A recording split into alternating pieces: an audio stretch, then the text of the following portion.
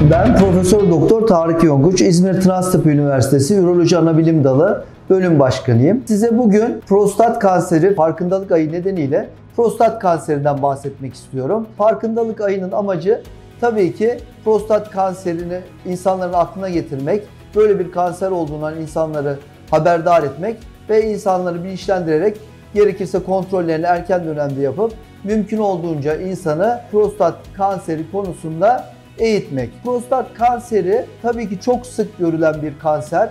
Erkeklerde cilt kanserlerinden sonra en sık gördüğümüz kanser türü. Akciğer kanserinden sonra da en öldürücü olan kanser türlerinden bir tanesi. Bu kadar sık görülen ve öldürücü olan bir kanseri de mutlaka erken tanısı gerekmekte.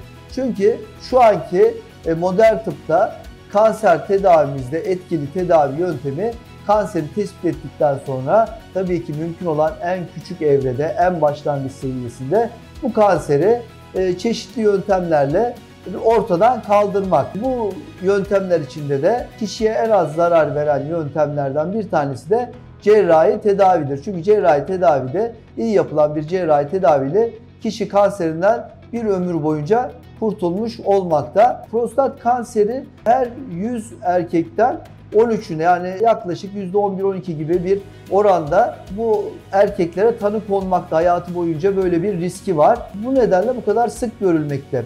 Peki bu kadar sık görülen bir hastalığı nasıl tabii ki önleyebileceğiz? Mutlaka erken tanı. Erken tanı için de hastaların kontrole gitmesi, üroloji uzmanına kontrole gitmesi gerekiyor.